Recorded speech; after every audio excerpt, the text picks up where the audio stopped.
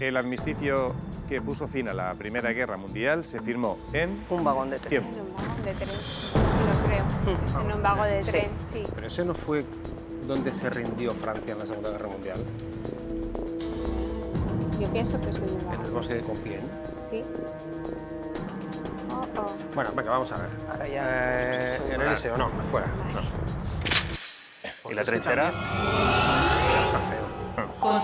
Es que también, es que algo me quiere sonar de que la rendición de Francia en la Segunda Guerra Mundial, para mayor humillación, la A tuvieron ver, que un firmar. restaurante de Berlín, Restaurante de quítalo. Berlín, no. Vale.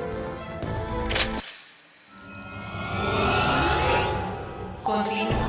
Pues quiere sonar eso, de, de que la rendición de Francia en la Segunda Guerra Mundial se firmó en un, en un vagón donde previamente Alemania...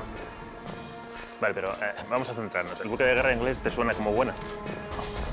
A mí no. Opinar. Es que a mí me sonaba lo del vagón de tren también Venga, cuando... ¿nos quedamos con el vagón? pero- Sí, yo, es lo que las dos hemos dicho al principio. Sí. Vale. Si estamos equivocadas, pues mala Pues- suerte. pues venga. Pues mala suerte. Bomba neutralizada.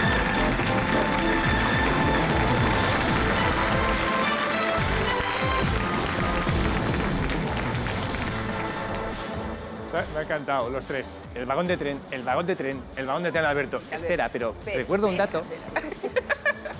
Que si lo rebozas bien, A que te dan ganas. en el vagón de tren remodelado para labores de oficina del mariscal Foch. Allí se firmó en 1918 el armisticio con el imperio alemán poniendo fin a la, a la guerra. Años más tarde, cuando Hitler invadió Francia, se llevó este mismo vagón a Alemania como trofeo de guerra. Mirad, aquí se ve el vagón donde se firmó y al mariscal Foch, que es exactamente ese. El del medio. Ese, está ahí. Enhorabuena chicos, pleno para vosotros.